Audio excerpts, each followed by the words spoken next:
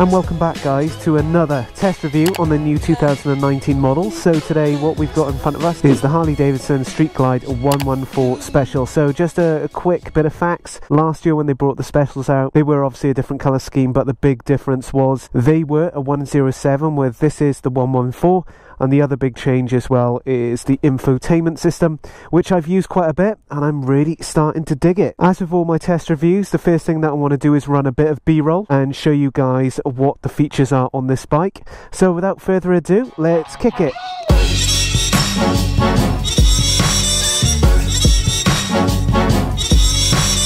And following those features guys, the next thing that we need to listen to is this stock exhaust system.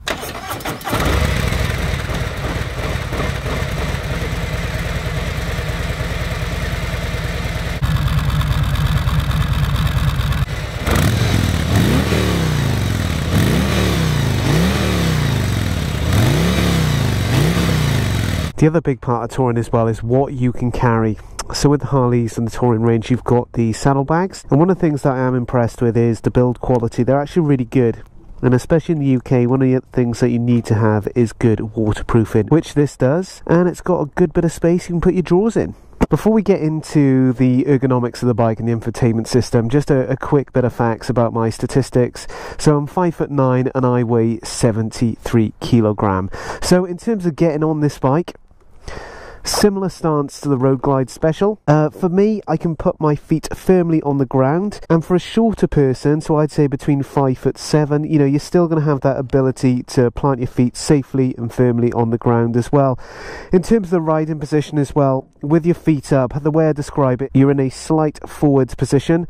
I've always found these footboards really, really comfortable, especially on the Road Glide that I recently test reviewed. And for the handlebars, then they are, for me, being five foot nine, slightly below my shoulder level then by about three inches. What I love about Harley Davidson, I mention this a lot in my other reviews, is that the instruments in front of you are really simplistic, all the way through to the actual hand controls themselves. In front of you then, to the left, you've got your dials, you've got your fuel. So as you can see, someone didn't fill that up, so I need to get to a petrol station. Then you've got your miles per hour gauge, then you've got your RPM, and then you've got your battery volt. And then coming down to the middle here, you've got the new infotainment system, which, as I mentioned, I really, really love. Lots of different options for this, but the biggest thing for me is that the thing is super, super quick. Super quick and responsive is what I really like. In terms of the options, then, what you've got in front of you when you press the home page, like so. On the left, you've got the music. In the middle, you've got sat navigation, which is probably one of the biggest USPs of the bike. And on the right hand side, you've got your phone with Bluetooth connectivity.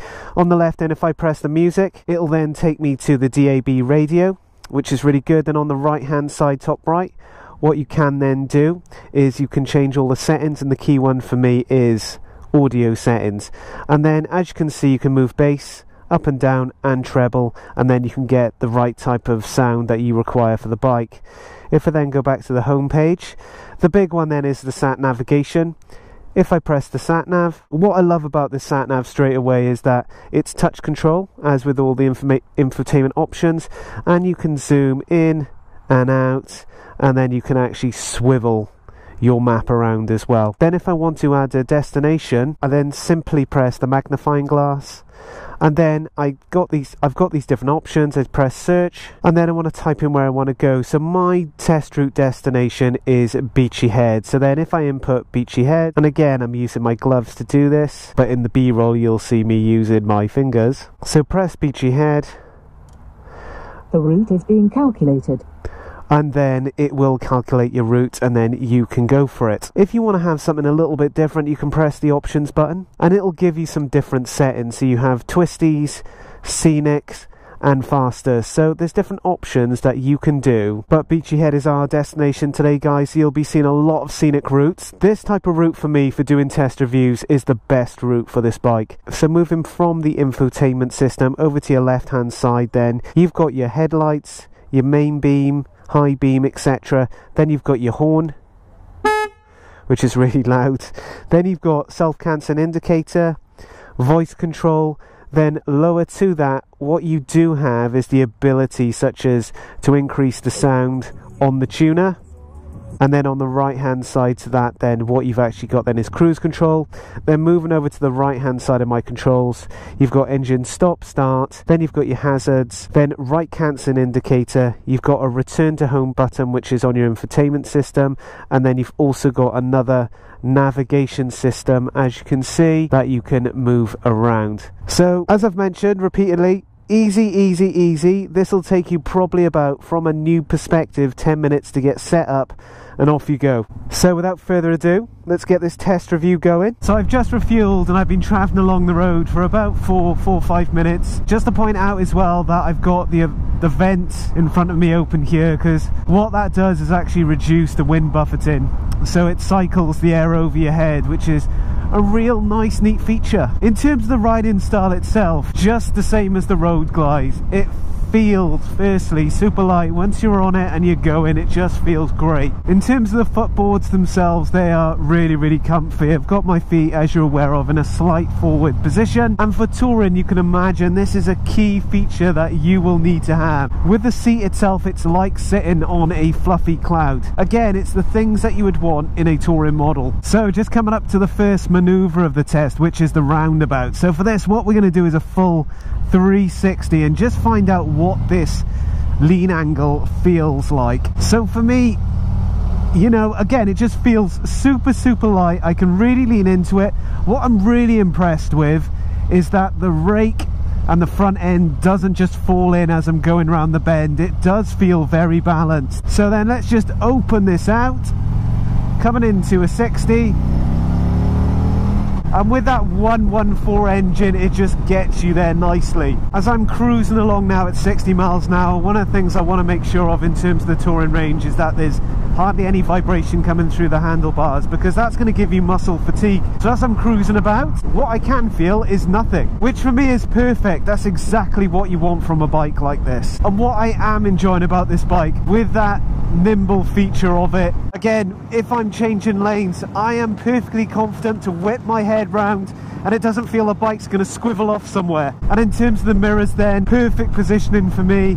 I can see everything that's around me, which is super good. As we're coming towards Beachy Head, what I want to do is not just look at the sat navigation because I know where I'm going for a start. And secondly, I want to know what's going on with my bike. So if I press the information button here, what I can then do is switch through to the brain of my bike which is telling me what is going on so in front of my screen at the moment I've got miles per hour distance traveled etc and then in the carburetor section it's got total distance so 202 miles and it checks my oil say that it's okay and then as I'm moving along if I click to picture of the laptop essentially it's got my average speed average miles per gallon fuel used stops and my start time so you've got lots of stats that you can play about with whilst you're touring. Now we move into the national speed limit test, so we're going to see how quickly this bike can get from 0 to 60.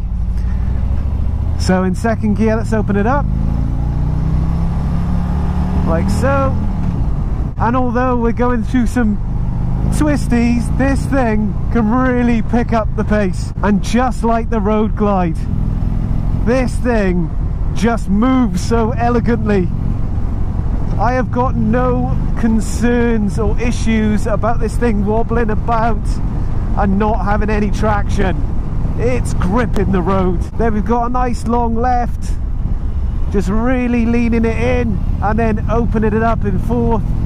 A little bit of brake round here and then off again. Now I know with the 114s you've got that power behind you which is exactly what you need because you've got to think about if you're touring you're going to be taking a person on the bike. Your total weight could be around 24 stone. Could be more could be 30 stone. Plus then you've got the saddlebags in the rear that you're going to put your clothes in.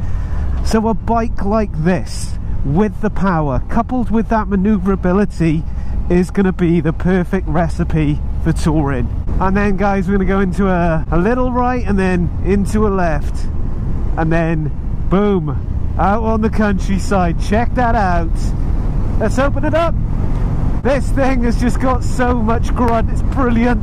The other thing that you've got to make sure the Tour is that you've got plenty of brakes. And with this, you've got the twin disc at the front with the Brembos and a single disc at the rear. Then it's coupled to that dual linkage system, as I've explained in my previous reviews. All that simply means is that if you engage with the front brake, that will automatically bring the rear into play as well. And the other aspect is that if you engage with the rear brake, what happens to the front that it engages the left brake disc to balance things out. So it's quite a clever bit of kit. Got some nice roads around here, a bit of negotiating to do, but it is very, very good fun. So again, on hard to those brakes. Using just the front brake, remember, because that dual linkage. Then opening it up. Coming into a left bend. Off the accelerator. Then on. And what I love is that bat wing is just bouncing that air around me. It's not hitting my head. It's not buffeting. And the suspension's working really hard. And then out Look at this, guys. This view is awesome. I'm a little bit gobsmacked at the moment, guys. The weather is absolutely beautiful. I was at an award ceremony last night and my MD said, Always remember this. You don't remember the words that people say, but you remember the way they make you feel. And on this Harley Davidson, it's exactly why I love it. Just coming over the brow by Beachy Head, and we've got this sweeping left. It's good. It's really good. And I'm gonna, oh, it's gonna overtake these guys. They're just plodding along. That's it. I'm gonna have to overtake you guys. Right check. Let's do it. Woo! And that's the thing with this bike. You can just zip in and out and for me it just feels like any other Sportster or Softail model. It's got that maneuverability. So coming into the final part of the test guys it is the chicane. It's the tight one. This is the one that always catches me off guard but I absolutely love it. And always can't remember where it starts either but I know it's coming up. So it is a left. Dropping the gears down into fourth gonna go into third. Then it's right bend. Car oncoming car. It's all right then going through it then into a, a left bend gonna go drop down into second gear. But this thing is carving it up. No issues at all. What a fun machine. Okay so let's sum this up. Did i like it? Absolutely. Would i buy it? Absolutely. If if if. I was touring. I carried a pillion and i was doing those miles. That's a key thing for me but I think for anyone that's doing touring, then the Street Glide Special, I'll have to say it as well, guys, because if you haven't seen my other vlog, go and see it, the Road Glide Special. These two bikes are absolutely fantastic. I think the suspension's good, the brakes are great, the power's great with the 114, you've got great space in the saddlebags, you've got loads of great colour schemes to choose from, and the price starts from 22,495. There's nothing that I don't like about this bike. The only challenge for me is that in terms of the miles that I do, I just don't have the time. I don't have the time to go touring. I wish I could. I genuinely wish I could spend five days a week on a Harley Davidson, but it's just not going to happen. So that's my review of the Street Glide Special 114. If you liked it, make sure you give it a thumbs up. And if you're new to my channel, hit that subscribe button. Loads of stuff going on. I think I may have just dropped the Street Bob custom vlog.